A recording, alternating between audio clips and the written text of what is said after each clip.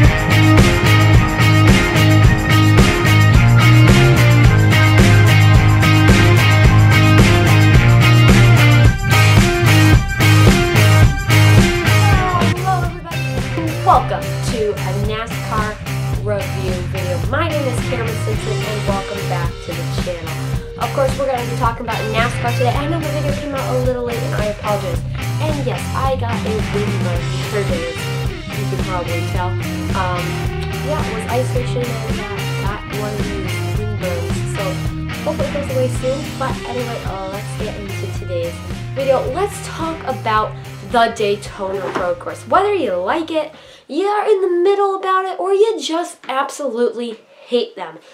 And I've expressed my opinions about the Daytona Road Course, all road courses in general, in the past. You know, I'm one of those people that really just in the middle. I don't love them on any stretch, and I'm probably on the verge of hating them because they just aren't generating the type of racing that I want to see week in, week out, doing it. So let's break down this race. Now let's start off with stage number one. Chase Elliott takes the pole, and right off the bat, second place starter Michael McDowell, who won the Daytona 500 later, we'll, last week, we'll get to him a little bit later, takes the corner out wide, and this will become a theme of the day. Of course, it starts in the first lap.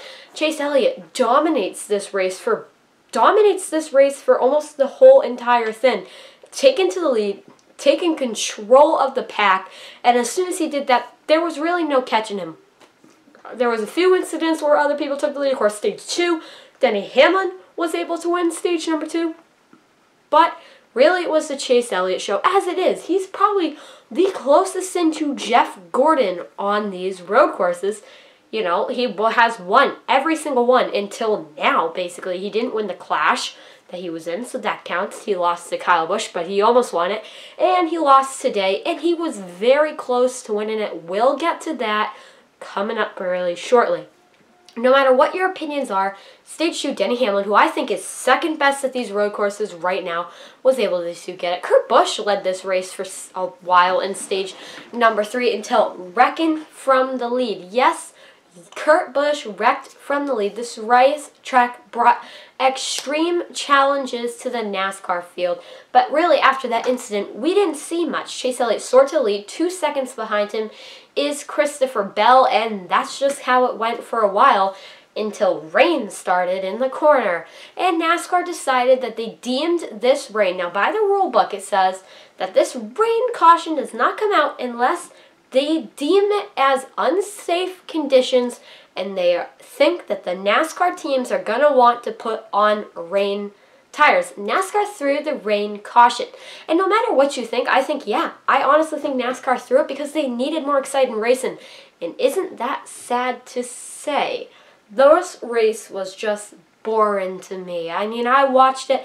The best road course races to me is when you have side-by-side action, through the corners from for first place, it's gonna get a little iffy. And but I like having it second, third, and I like when it came down. I like the style of finish that we had today on road courses because that to me makes a heck of a road course race. But we didn't have that, and we we ha didn't have that all week, and that's the problem. I think we're running into right now. That's the problem that I think we're going to be running into with these seven road course races that NASCAR's experiencing with. You know, they're trying these new things, but NASCAR already today thought that the first of the seven, of the eight, excuse me, was not good enough. They needed to throw a caution out. I'm glad they threw the caution out because the ending piece of this race was exciting. Not the wrecks. The wrecks and the chaos was absolutely terrible. I don't watch NASCAR for wrecks.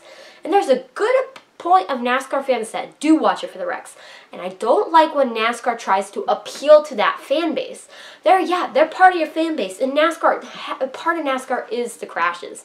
But I don't like when NASCAR throws a caution because they want to appeal to that audience. That audience is just there to see people potentially get hurt. Not, not that's what they want to do, but they don't want to see people get hurt, but they want to see wrecks. They want to see fiery crashes, and they want to see the person get out. But that can't always that nowadays this can happen, but back a while ago that couldn't. And road course races to me, the fact of the matter that NASCAR needed to do that led me to believe that they weren't confident in this race's reviews if they didn't have an exciting finish. They knew that if they threw a caution, the field would bunch up, five wide through the corners, spins out. That's what they wanted to see. They wanted to see people spinning out from the lead. They wanted to see all this. Well, they got it. And the finish was absolutely stunning. The person that I did not want to see the race at all, did not want to see win the race at all, was Joey Logano, and he didn't. My second favorite driver. Now, I have Kyle Busch. He is my leader. He's my favorite driver in NASCAR, and that's just that's just the way it is. Kyle Busch, my favorite. He will be until he retires. But when he does retire, Christopher Bell is a really close second. I think he's an awesome driver. But we'll talk about him in Winter Spotlight for this week. But anyway, yeah, it was awesome to see, and I'm happy for Christopher. I'm happy for Joe Gibbs, who swept this weekend. Toyota swept this weekend. They had a, a truck win on Friday KBM. Ben Rhodes, no, not KBM. Ben Rhodes, they switched to Toyota this year, and they got a win. So they had, it was awesome, awesome, awesome for Toyota. Of course, Joe Gibbs' grandson, Ty Gibbs, won, and of course, we see this weekend. Christopher Bell won his first career win, two first careers uh, in the last few, the last two races, shaping up to be the best season ever. Haha, haha. Sorry, Fox. But yeah, that was it. Was a good race, exciting finish. Not good race, exciting finish. And that's why when we get to hit the gas or hit the brakes, I have to make a pretty decision um, that you guys might like or you might hate. But anyway, that is the race breakout. Now, do I agree with the caution that they threw? No. I like to see races play out, but I don't think Christopher Bell was chase, catching Chase Elliott. I'm going to be a realist. And I'm happy they put the caution out because it added some excitement to this race. Let's get to today's finishing results. The winner of today's race was Christopher for Bell, able to drive through the field uh, and be, really was running top five really all night. You know, he had a good car, and towards the end, he proved that he had a good car by driving that thing to victory lane after passing Joey Logano in the front stretch chicane. More coming up on him later. Joey Logano finished second, of course. Car just really didn't seem to have much for him. Kurt, uh, Denny Hamlin in third, not, as I said, one of the best road course racers out there right now. Chase Elliott being the best, but he's definitely a close third. Was able to drive all the way back to fourth place after maybe some strategy played into that fourth place for Kurt. But all in all, great. After wrecking from the lead, finishing fourth, it was a great comeback that shows a championship team right there that can battle through adversity We'll see how he goes the rest of the season. Brad finished fifth, the Keselowski. Kevin Harvick in sixth. AJ Allmendinger maybe redeeming himself a little bit from that Xfinity Series race last night. Finished seventh. You know, everyone talks about him in a road course race, and a great point was mentioned the other night. I was watching a live stream from a NASCAR YouTuber, and a great point was brought up from you guys, the NASCAR fans. AJ Allmendinger isn't a real good road racer. And I thought of it and I said, yeah, the media always jumped on him when he was a, when he was racing. You know, they always jumped on him to be one of the best racers there is. And then after a while, the media started to jump on him because he runs well at Martinsville. And the first thing I thought of is, wow, well, maybe he'll actually do good in road courses. He does run good in road courses, but I think he's also in some better equipment. And that might be why he finished seventh, McDowell and eighth. Hey, won the Daytona 500 his first race, finished 8th at a road course. What's going to happen next week at Homestead? Preece in 9th, Bowman finished 10th, Chris Buescher in 11th, Martin Truex Jr. in 12th, wrecked, but wrecked towards the end of this race. Not a wreck, splitting out, but still. Nice to see him drive through the field. Cole Custer in 13th, Erik Jones in 14th, 43, top 15, We'll see how that team can do later. Ryan Blaney in 15th. And Daniel Suarez with a top 20 finish in 16th place. Could have had to do with a lot of those last lap little debacles. But I'm still going to clap for that. Aric Almirola in 17th. Ricky Stenhouse Jr. in 18th. Ty Dillon with a top 10 in 19th. And Ryan Newman in 20th. Those are your top 20. Soak them in. Give them a good look. Think about them for a second. These are your top 20 for this week's edition of the NASCAR Road Course. And look at them because they might matter. And I believe Michael McDowell is number one in the points right now. As much as that doesn't matter, playoffs are a while down the road. But I just want to say that he is probably, I think right now, uh, number one on that list. Alright guys, let's transition into winner spotlight. Today's winner was the one, the only, Christopher Bell. First start, second start in for Joe Gibbs Racing. He's he's he's run pretty decent in the Xfinity Series at a road. He has one Xfinity Series road course win. He has run extremely good at the. He he was running really good at the Daytona 500 till he was believed to cause that lap 15 wreck. I don't think he caused it. Go check out my Daytona 500 review. I will talk about that in a little while as well. Uh, no, uh, that's I talk about all of that stuff in the Daytona 500 there. I'll do this every week, by the way. We'll talk about the race. But Christopher Bell, overall, great win. His first career cup win, awesome. He Sadly, less personnel. His wife couldn't be there, but he is excited that he won. I don't blame him. You know, he's one of the best Xfinity Series drivers I've seen in a while, and moving into Cup, a lot of eyes were on him, of course, on that 95, and then that 95 team had to shut down, and then boom, in his second year in Cup, he got a great opportunity, a golden opportunity with Joe Gibbs Racing, where he was able to surpass almost all expectations and win. Now, what's what's your expectations for him in the near future? What do you want to see from Christopher Bell? Another win this year? I did. I said that team would be up to a slow start. Predictions looking less and less likely, but we'll see. Um, he has had one top five at the Daytona Road Course last time, and now he has a win. So that's that's that's pretty good. That's pretty good. Um, so anyway, thank you all for listening to my winner spotlight on Christopher Bell. That's it for that one. And I want to just have a time to talk about something I haven't heard anyone else talking about. Is the Adam Stevens versus Kyle Busch conversation. Because Adam Stevens, is he winning right now between the between the two. This is going to be, as I said, this is going to be an interesting conversation between these two all year because news broke earlier that Kyle Busch was uh, basically walked out. Uh, Adam Stevens like walked out on Kyle Busch and basically quit on him. Kyle Busch wasn't didn't like that, and because he wanted some personnel change, and Kyle Busch wanted personnel change. Adam Stevens didn't want to do it. He said, "This isn't really gonna work. I'm going," and he went.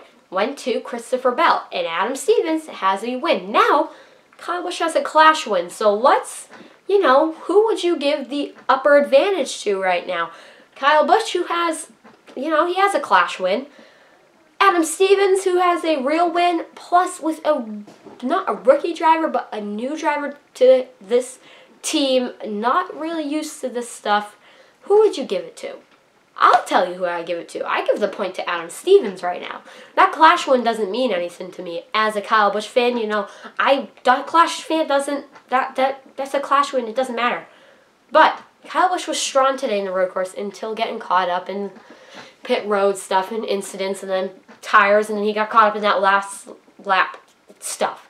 But watch Kyle Busch this thing all season. Maybe next week when Kyle Busch goes to victory lane, fingers crossed, we'll have another installment of the Kyle Busch versus Adam Stevens. So just wanted to say, every time one of them wins or one of them does something, it's always going to be an installment here. And I'm going to keep track of it, see who wins. But I give the point to Adam Stevens this season. And then finally, I touched on it in the beginning, my thought on road courses. You'll have seven more of these videos on the road courses. Now, the seven road courses on the NASCAR season, I have been so critical on because I don't like the idea. I don't like road courses personally.